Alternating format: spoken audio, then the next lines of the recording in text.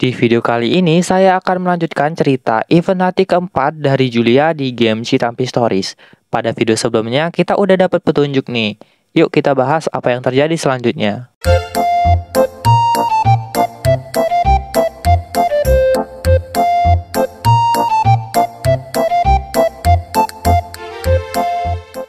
Oke, di sini kita lihat dulu untuk bagian questnya. Carilah ikan barakuda, mesin bubut, bolu pisang, dan berikan pada Julia. Nah, di sini dapat reward RC 150.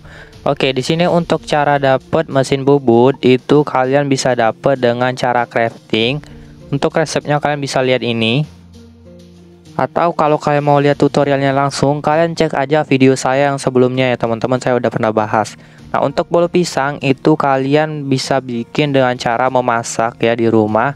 Nah, untuk resepnya ini ya teman-teman, saya udah share juga nih.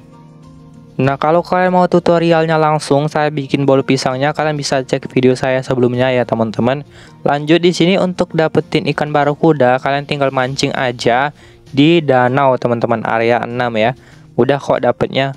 Kalau misalkan ikannya gesit berarti ikan barakuda gitu.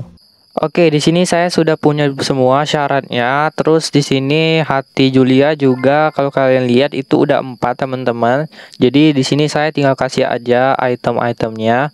Pertama kita kasih dulu mesin bubutnya. Oke. Terus bol pisangnya dan ikan barakuda. Oke, let's go, kata Julia. Tunggu, tunggu. Kita kan mau ke pulau pribadi ayahmu nih. Terus kita ke sana naik apa? Aish, Stop, kamu cukup menurut aja. Kita itu harus hemat waktu. Yang jelas kita harus pergi ke pelabuhan. Oke deh, pelabuhan berarti Julia akan mengajakku naik perahu atau kapal laut. Tiba-tiba berbagai macam pertanyaan muncul di benakku. Namun aku memilih untuk tetap diam dan masuk ke dalam mobil Julia. Oke. Oke, di sini Julia dan Asep masuk mobilnya ya. Sama seperti penyelidikan terakhir, hari ini kami melakukan penyelidikan pada malam hari juga. Suasana di luar mobil yang gelap gulita ditambah derum mesin mobil yang pelan membuatku mengantuk. Hey, wake up, kata Julia. Kita disuruh bangun, aku tersentak mendengar suara Julia dalam keadaan setengah sadar penglihatan yang agak buram Aku melihat sekitar, ternyata mobil sudah berhenti. Sepertinya kami sudah sampai tujuan. Rupanya aku tertidur cukup lama di mobil Julia. Nyenyak tidurnya ser, udah mimpi sampai berapa episode? Sambil memutar bola matanya ke atas.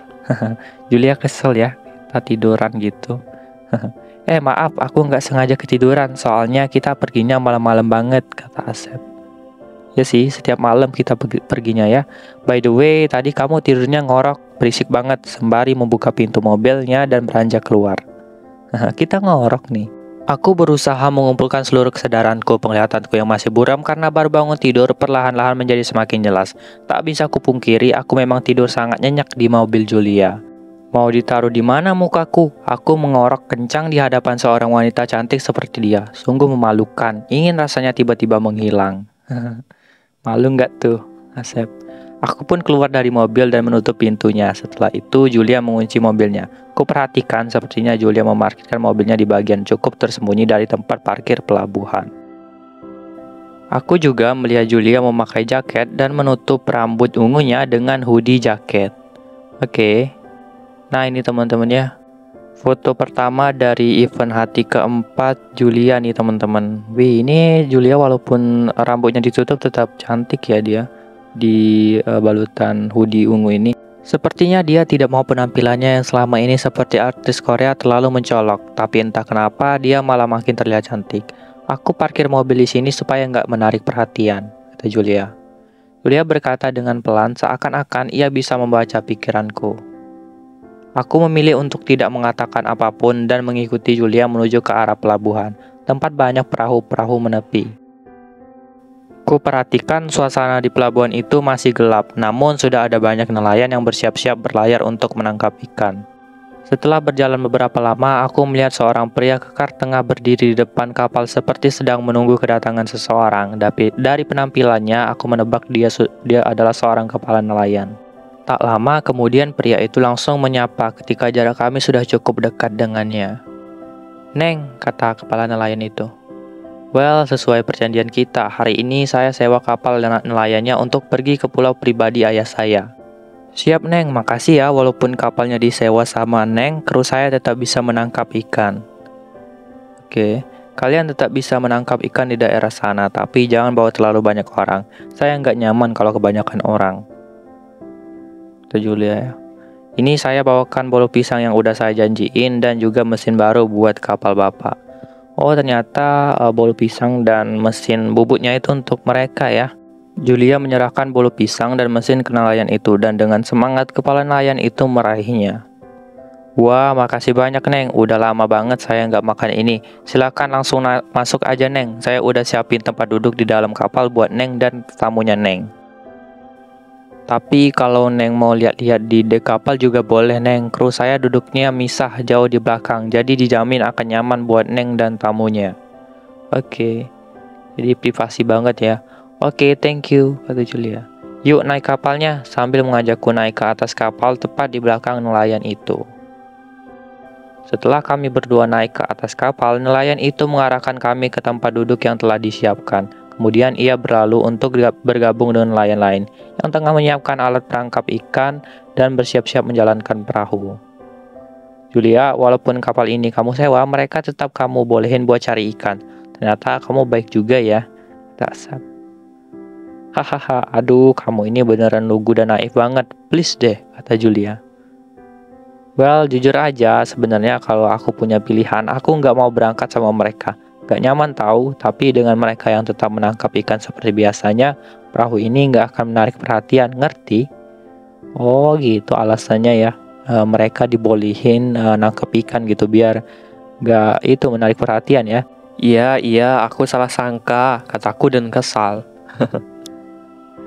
Dia selalu merendahkanku, dasar anak orang kaya belagu, dalam hatinya Asep. Sepanjang perjalanan, aku melihat Julia tampak sibuk dengan HP miliknya. Aku memilih untuk diam dan menatap ke arah lautan yang gelap. Oke. Sesekali aku melirik ke arah Julia dan kali ini ia terlihat sedang memikirkan sesuatu dan mencatat isi pikirannya di buku catatan kecil yang dibawanya. Julia terlihat semakin cantik apabila sedang serius. Oke. Tiba-tiba aku melihat kepala nelayan berjalan kembali menghampiri Julia. Neng, kita udah hampir tiba. Barangkali Neng mau siap-siap, kata kepala nelayan itu. Oke, okay, thank you. Beranjak dari duduknya dan memberi kode padaku untuk bersiap-siap. Kami berdua berjalan menyusuri dek perahu, mengikuti kepala nelayan itu menuju ke ujung perahu dan bersiap-siap untuk turun. Setelah perahu berhenti di pelabuhan pulau pribadi ayahnya Julia, aku melihat Julia dan kepala nelayan itu sedang membicarakan waktu untuk penjemputan kami. Kemudian kami berdua berpamitan dan berterima kasih pada kepala nelayan itu, lalu turun dari perahu. Setelah menginjakan kaki di pulau itu, aku melihat sekitar dan terpukau dengan apa yang kulihat. Nah ini untuk uh, foto pulaunya ya. Ini lumayan keren juga ya pulaunya teman-teman dijaga mercusuar gitu ya. Pulau itu sangat asri dengan banyak pepohonan rindang. Walaupun letaknya terpencil, tapi suasananya benar-benar membuat rileks dan tenang. Tapi ini gelap gitu ya, jadi agak serem gitu liatnya ya. Pulau ini gitu jadinya. Hei cepat, jangan bengong aja, kita masih harus jalan sebentar. Tempatnya nggak terlalu jauh kok, kata Julia. Aku berjalan mengikuti Julia yang berjalan dengan penuh semangat. Walaupun aku merasa agak letih, aku tidak boleh kalah dari anak orang kaya yang manja seperti dia. Selagi berjalan, aku melihat sepatu boot anti air yang dikenakan Julia. Dia benar-benar mempersiapkan semuanya untuk misi ini. Diam-diam, aku mengagumi kemampuannya dalam mengatur semua dan juga sikapnya yang selalu tenang dalam setiap keadaan untuk beradaptasi dan menemukan jalan keluar. Setelah berjalan selama kira-kira 15 menit, akhirnya aku dan Julia sampai di sebuah mansion besar dengan pagar yang sangat tinggi. Oke. Okay. Aku memperhatikan pagar itu dan mencari gembok atau lubang kuncinya. Namun yang aku temui adalah sebuah tombol kode yang terletak di sisi pagar. Julia, Asep. Namun tanpa kuduga, Julia sudah memencet nomor kodenya dengan mudah dan pintu pagar pun langsung terbuka otomatis. Oke, dia tahu kodenya.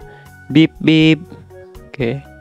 Hah, ayahku memakai nomor yang sama untuk kode berangkas dan kode pagar mansion ini sangat tertebak sekali kata Julia.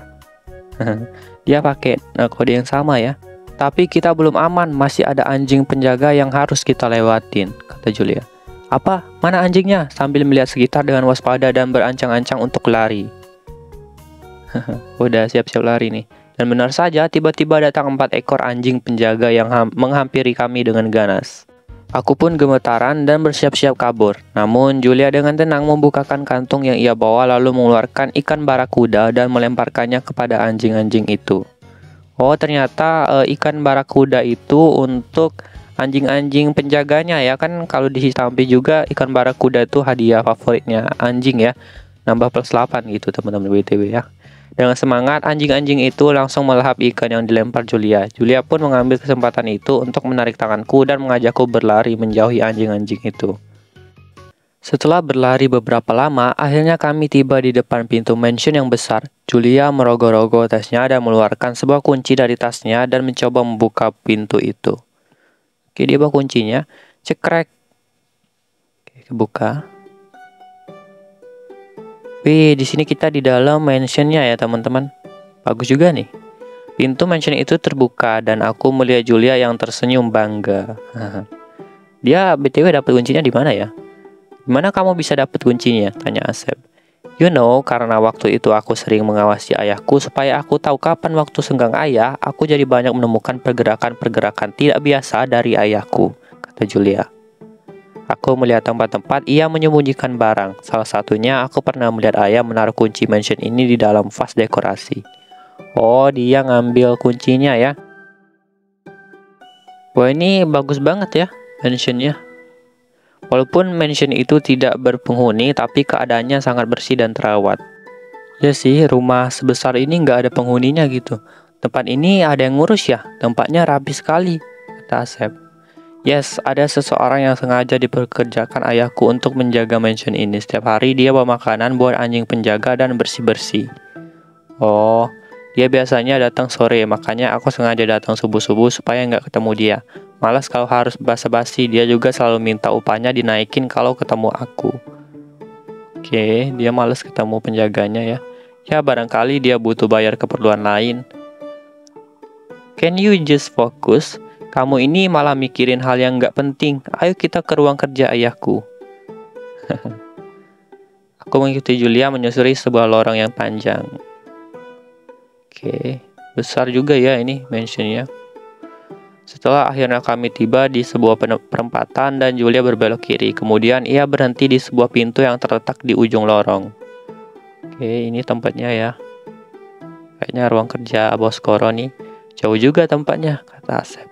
Aku tahu kalau ini ruang kerja ayahku karena dulu waktu aku berusia 8 tahun ayahku mengajakku dan ibu ke sini. Oke, Julia pernah diajak ke sini ya. Tapi setibanya di mansion, ayahku langsung pergi meninggalkanku dan ibu. Aku kesel banget waktu itu. Buat apa pergi bersama kalau ujung-ujungnya ayah malah sibuk sendiri? Oh, gitu ya. Dia uh, ditinggal ya karena ya ayahnya sibuk banget gitu. Ya, biasanya orang kaya kayak gitu, teman-teman. Aku pun membuntuti ayahku dan melihatnya masuk ke dalam pintu ini. Seketika aku sadar kalau ini pasti ruang kerja ayahku, mengingat di rumah juga ayah selalu menghabiskan waktu di ruang kerjanya. Oke. Aku yakin pasti ada rahasia di balik ruangan ini, kata Julia. Oke, kayaknya memang ada rahasia nih di ruang kerja ayahnya. Julia membuka pintu ruangan kerja. Oke, kita berhasil masuk nih. Ketika kami masuk, tak kami sangka ternyata isinya bukan ruang kerja, melainkan... Wah, kayaknya kita salah nih. Perpustakaan? Oke, okay. what? Gak mungkin selama mengintai ayah, aku gak pernah lihat dia baca buku sama sekali, kata Julia. Oh, ternyata kita salah nih, kayaknya kita dijebak. Aku terdiam melihat isi dari ruangan itu, sedangkan Julia sibuk berpikir. Kayaknya kamu salah ruangan deh, kata Asep. No, gak mungkin. Ayahku selalu masuk ke ruangan ini, kata Julia. Pasti ada sesuatu di balik ruangan ini. Bantu aku, kamu cari ke kanan, aku ke kiri. Hmm, mencurigakan ya teman-teman. Kami berpencar dan mulai mencari-cari petunjuk. Oke, kayaknya ini bakal ada ruangan rahasia gitu di balik perpustakaannya. Kayak di film-film gitu, teman-teman. Oke. Nah, ini teman-teman ya untuk uh, gambaran perpustakaannya ya. Ini mewah banget ya perpustakaannya ya teman-teman. Kayaknya memang ada rahasia nih di balik ruangan ini. Waktu demi waktu berlalu dan kami belum menemukan apa pun. Oke, kita nggak nemuin apa pun ya di perpustakaan ini. Aku mendekati jendela dan melihat matahari mulai terbit. Oke, rasa putus asa mulai memenuhiku. Berbeda dengan Julia yang terlihat masih berjuang. Julia pantang menyerah ya. Gimana Asep, kamu udah nemu sesuatu? Di sini uh, Julia kayak kecewa gitu ya. Belum kata Asep. Sial, aku juga nggak nemuin apa-apa. Sambil marah-marah gitu ekspresinya ya Julia. Aku aku dan Julia pun terdiam. Aku berdiri di dekat salah satu rak buku dan tanpa sengaja tanganku menjatuhkan sebuah buku. Wah bener nih, aku mengambil buku yang jatuh itu dan melihat judulnya.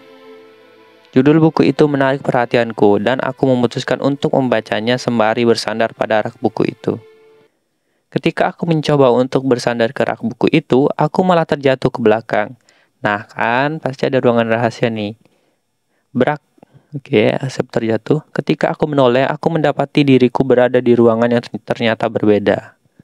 Oke, bener nih ya, ada ruangan rahasia. Sambil memegang pinggangku yang terasa sakit, aku pun berdiri tanpa aku sadari rak buku tempatku bersandar tadi terbuka.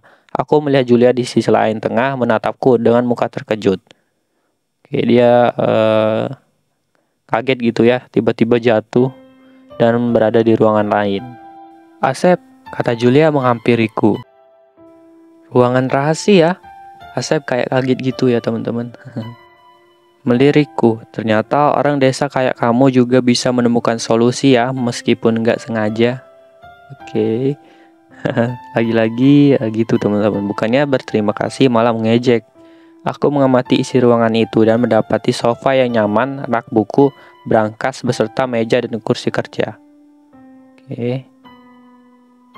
Setelah melihat berangkas di ujung ruangan itu, tanpa pikir panjang lagi, melang Julia melangkah mendekati berangkas itu. Aku mengikutinya dari belakang. Jujur, aku penasaran dengan apa yang ada di dalam berangkas itu.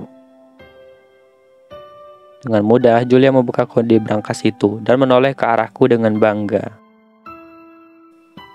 Oke, ini foto kedua dari event hari keempat Juli ya teman-teman. Si masih dengan kode yang sama, katanya sambil tersenyum. ya seneng gitu. Kayak puas gitu teman-teman ya ekspresinya saat berhasil buka berangkasnya. Ya di sini bagus sih untuk foto keduanya. Julia juga cantik. Julia langsung melongok masuk, memeriksa isi berangkas. Aku juga mengikutinya melongok masuk ke dalam berangkas dan terkejut melihat isinya. Wah, apa tuh isinya? Ternyata hanya ada selembar kertas saja di dalamnya. Wah, apa kita gagal lagi nih? Dengan heran, Julia mengambil kertas itu dan setelah melihat isinya, kami berdua kebingungan. What is this? Teka-teki? Again? Kata Julia ya. Julia mengamati lekat-lekat, dekat-dekat dan memutar kertasnya, namun ia masih tidak mengerti arti dari teka-teki itu. Oke, uh, kita dapat teka-teki ini teman-teman. Hmm, Iya benar, nggak salah lagi. Ini pasti teka-teki. Tapi buat apa? Iya sih, buat apa ya? Di dalam berangkas gitu teka-tekinya. Jelas buat petunjuk sesuatu yang sangat rahasia yang disimpan ayahku. Mungkin ini yang kita cari. Hmm, tapi gimana cara memecahkannya? Tanya Asep. Well, sekarang kita pulang aja. Kertas teka-teki ini kita bawa. Biar kita pecahin ini di rumah aja supaya lebih aman. Menutup berangkas dan berdiri. Aku juga beranjak berdiri dan mengikuti Julia keluar dari ruangan kerja itu sampai menuju pintu depan. Sepanjang perjalanan keluar dari mansion, aku terus berpikir bagaimana cara memecahkan teka-teki itu. Melewati anjing penjaga sebelumnya yang sudah tertidur, kekenyangan memakan ikan barakuda tadi.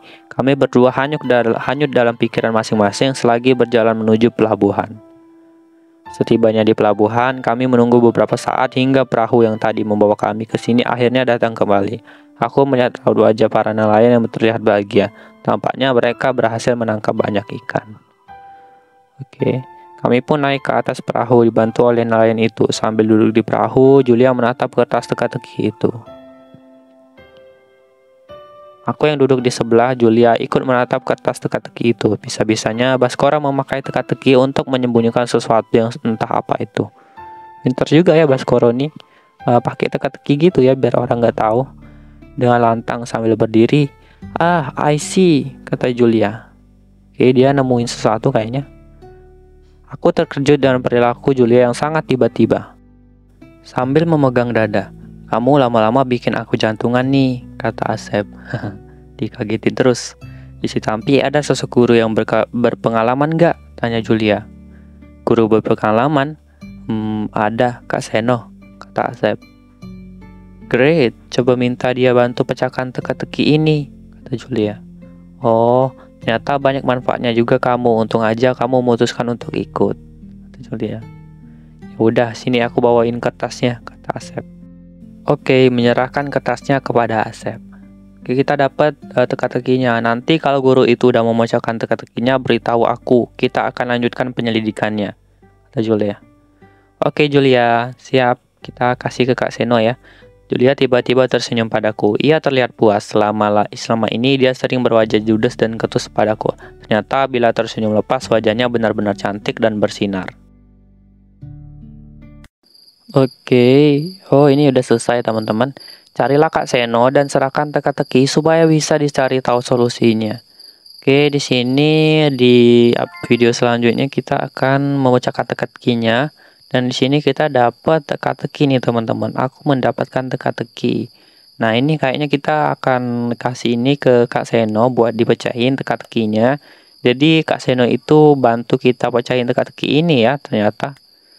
Nah, ini teman-teman. Oke, di sini kita lihat dulu di Citampers uh, Julia Event hati keempatnya.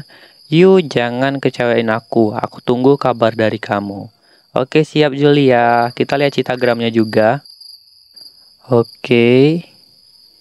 Nah, ini teman-teman. Yang pertama itu Julia uh, menutupi identitasnya gitu ya pakai hoodie ungu ini biar enggak terlalu mencolok ya ya walaupun tetap dipakein hoodie ini tetap cantik ya dia. Malahan lebih cantik lagi gitu. Bagus ya. Lagi uh, kayak vibesnya itu malam gitu ya tengah malam itu ditambah bulan purnama. Jadi bagus ya untuk fotonya. Lanjut di sini berikutnya itu uh, kita berhasil menemukan teka-teki nih. Ternyata Baskoro lebih pintar lagi ya. Dia menyembunyiin sebuah kertas saja yang isinya itu cuma teka-teki gitu uh, di dalam berangkas lagi ya. Wah ini ceritanya makin seru teman-teman ya. Uh, semakin lama semakin seru gitu teman-teman. Jadi kayak detektif gitu kita harus memecahkan teka-teki ya. Oke deh segini saja buat video kali ini. Semoga kalian suka dan semoga bermanfaat teman-teman. Terima kasih telah menonton.